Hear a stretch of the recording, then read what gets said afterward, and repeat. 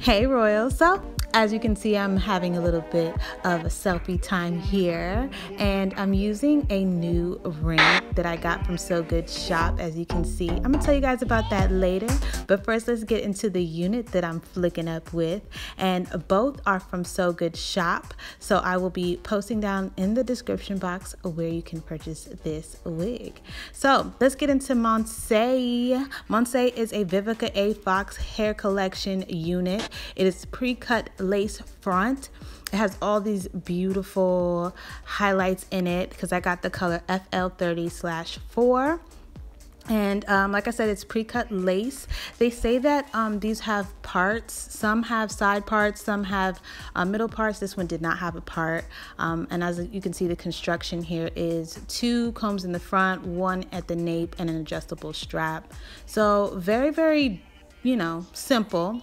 Now look at this, y'all. The lace on this was so small. Like I didn't have to, I didn't cut that. It came like that. It was jagged. And I was really curious because I've never seen this kind of lace amount or construction. So I went ahead and just put it on without cutting it. And it actually looks really good.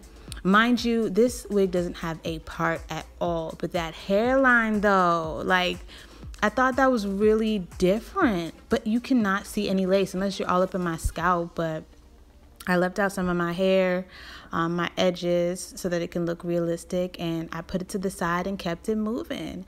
But yeah, I really like this unit. It's very comfortable, um, very flowy, very summery. I decided to show you guys a couple different styles that you can put it in. So I decided to put it up with an elastic band, leave a little hair in the front, and you get this look.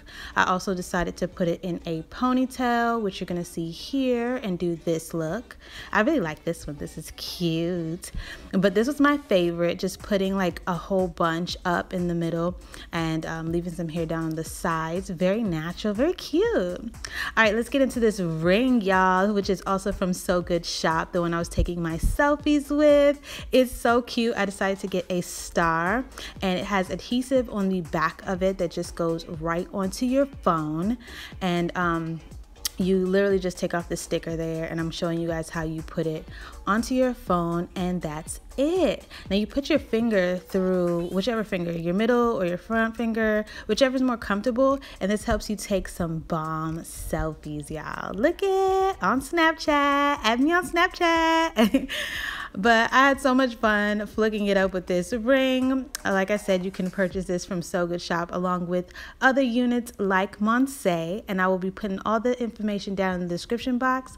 Thanks so much. I love you guys. See you later.